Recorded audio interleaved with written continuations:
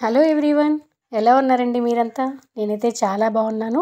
మీ అందరికీ కూడా భోగి సంక్రాంతి కనుమ శుభాకాంక్షలు. ఈ మూడు రోజులు కూడా నేను వీడియో పోస్ట్ చేయలేదండి.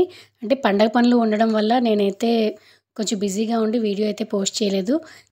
మన ఛానల్లో నెలగంట పెట్టినప్పటి నుంచి నెలగంట పెట్టడం అంటే తెలుసు కదా అండి? పండగ నెల రోజులు ఉంది అనగా ఆ రోజు నెలగంట పెడతారనమాట అదే నెలగంట పెట్టడం అంటారు. ఆ రోజు నుంచి కూడా మనకి పండగ వాతావరణం అంతే పల్లెటూరులో అయితే కనిపిస్తూనే ఉంటుంది. ఈ నెల రోజులు కూడా నేనైతే నా ముందు ముంగిట్లో వేసుకున్న ముగ్గులన్నీ కూడా మీతో పాటు షేర్ చేసుకున్నాను. అలాగే మన పండగ రోజు వచ్చేసింది కదా ఈ పండగ రోజు కూడా మొత్తం మన సంక్రాంతికి సంబంధించినవన్నీ కూడా ఈ రంగోలీలో వేద్దాం అనుకుంటున్నాను. మన పండుగ భోగితో స్టార్ట్ అయ్యి సంక్రాంతి కనుమ ముక్కనుమ వరకు కూడా కొన్ని ప్రాంతాల్లో చేసుకుంటారండి. మా సైడ్ అయితే కనుమ ముక్కనుమ కూడా చేసుకుంటారు. కొంతమంది అయితే కనుమతో మాత్రమే చేసుకుంటారు. చాలా సరదాగా ఉంటుందండి. మేమైతే చిన్నప్పుడు భోగి వేసుకునేటప్పుడు పొద్దున్నే అసలు చీకటి ఉండేటప్పుడే లేచిపోయి వీధిలో వాళ్ళందరం కలిసి ఒక దగ్గర వేసుకునే వాళ్ళం అనమాట మీరు కూడా ఇలాగే చేసుకునే వాళ్ళ. ఆ భోగిలో మేమైతే భోగి పిడకలు చేసుకునే వాళ్ళం అండి. అసలు ఎంత చక్కగా చేసుకుని ఆవు పేడ తెచ్చి ఒక పది రోజుల ముందు నుంచి అందరం పేడ తెచ్చుకొని భోగి పిడకలు చేసి పెద్ద పెద్ద దండలు కట్టి ఆ భోగి మంటల్లో వేసేవాళ్ళం. అందరిది నీదంత పెద్ద సైజు ఉందంటే నీదంత పెద్ద సైజు ఉందని కూడా అనుకునే వాళ్ళం. చాలా బాగుండేదండి ఆ రోజులైతే. ఇప్పుడు పిల్లలకి అసలు భోగి పిడకలు కూడా తెలియట్లేదు. అవి ఇప్పుడు ఆన్లైన్లో అమ్మేస్తున్నారండి భోగి పిడకలు. మన చేతులతో చేసుకుని చేసి వేసి ఆ సరదా వేయరు కదా అండి. ఈసారి అయితే మా పిల్లలకి భోగి పిడకలు అయితే నేను చేయలేదండి. ఎప్పుడు చేసేదాన్ని.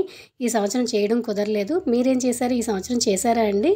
చేస్తే కామెంట్ సెక్షన్లో కామెంట్ చేయండి. అలా చిన్నప్పుడైతే భోగికి అందరూ కూడా ఇప్పుడైతే భోగి కోసం ఏం చెప్పంటే ఒక కర్రలు కొని అలా పెట్టేస్తున్నారండి మా చిన్నప్పుడు ఏంటి ఇంటింటికి వచ్చి అందరూ కూడా కర్రలు పాత సామాన్లు ఉంటాయి కదండి మన కుర్చీలు బల్లలు మంచాలు ఏముంటే అవి అడిగి తీసుకుని అందరూ కలిసి ఒక దగ్గర ఒక పెద్ద మంటలా వేసేవాళ్ళు అనమాట మన పాత వస్తువుల్ని భోగి మంటలో దహనం చేసి అప్పటి నుంచి కూడా మన కొత్త వస్తువులతో ప్రతి ఒక్కరూ కూడా భోగ భాగ్యాలతో సంతోషంగా ఉండాలి మన పెద్దలు పెట్టిన సాంప్రదాయం అనమాట పిల్లలకి భోగి పళ్ళు పోయడం కూడా మన సాంప్రదాయం కదండి.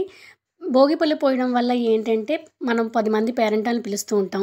వాళ్ళందరూ ఆ భోగి పళ్ళు పోసి పిల్లల్ని ఆశీర్వదించడం వల్ల వాళ్ళకి ఏమైనా దిష్టి గుణం అవన్నీ ఉంటే పోతాయని మన నమ్మకం. అలాగే మన సాంప్రదాయం కూడా భోగి రోజు ఇలా చేయడం అనేది మీ ఊళ్ళో కూడా ఇలాగే చేస్తారా అండి? ఇంకా భోగి రోజు పనులన్నీ ముగించుకున్న తర్వాత సంక్రాంతి కోసం మనం రెడీ అవుతాం అనమాట సంక్రాంతి అంటే మన తెలుగు వారికి పెద్ద పండుగ. కొంతమంది సంక్రాంతిని పెద్దల పండగ అని కూడా అంటారు. అలాగే రైతులు రైతుల పండగ కూడా అంటారు. రైతులు ఏంటి అంటే సంవత్సరం అంతా కూడా కష్టపడి పంట ఆ రోజు చేతికి వస్తుంది కాబట్టి సంతోషంగా మన రైతులు అనేది ఈ పండగ చేసుకుంటారండి. రైతులు ఏంటంటే ఎద్దులకు కూడా చాలా ప్రధానమైన పాత్ర ఇస్తారు. ఎందుకంటే ఎద్దులు ఈ సంవత్సరం అంతా కూడా రైతులతో పాటు కష్టపడతారు కాబట్టి ఆ రోజు ఆ ఎద్దులకు కూడా వాళ్ళు చక్కగా పూజలు చేసి చక్కగా చేసుకుంటారండి ఆ రైతులు కూడా.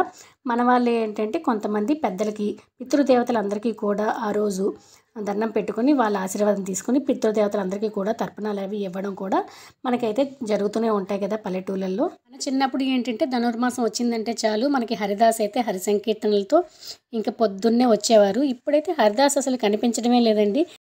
ఒకవేళ ఎక్కడో కనిపించినా కూడా వాళ్ళైతే మోడర్న్ హరిదాసులు అండి బైకుల మీద వచ్చి అలా వచ్చి అలా వెళ్ళిపోతున్నారు. హరి సంకీర్తన కూడా లేదు. అలాగే మనకైతే ఇంకా గంగిరెద్దుల వాళ్ళు డోలు సన్నయ్య వాయించుకొని ఆ గంగిరెద్దును పట్టుకొని ఇంటింటికి వచ్చేవాళ్ళు ఈ నెలంతా కూడా. వాళ్ళ ఆ- ఆ బసవన్న అయితే వీళ్ళు ఎలా చెప్తే అలా చేసేది. అయ్యగారికి దండం పెట్టు అమ్మగారికి దండం పెట్టు అంటే అలాగే చేసేది. చిన్నప్పుడు ఎంతో సరదాగా ఉండేవండి ఇవన్నీ కూడా.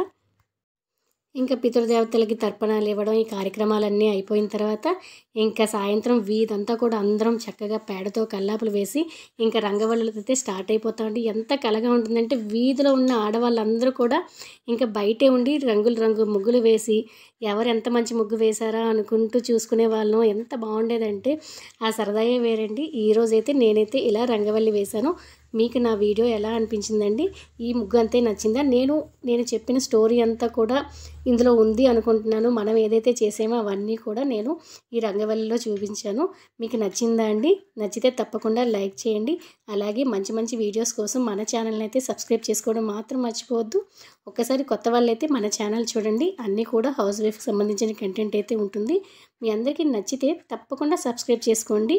ఇట్లు మీ శ్రావణ జ్యోతి